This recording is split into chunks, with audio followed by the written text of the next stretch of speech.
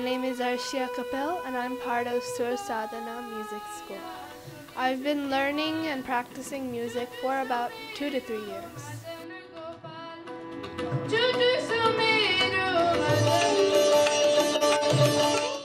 हमारा प्रयास हमेशा ये रहता है कि हम गुनीजनों की सम्मान और उनकी कला के साथ उभरते हुए कलाकारों को भी उनके सामने प्रस्तुत करता हूँ आज के इस वक्त इस दौर पे हम शास्त्रीय संगीत को प्रिजर्व करना और उसको प्रमोट करना, उसको संरक्षण करना हमारे लिए सबसे बड़ा दायित्व है।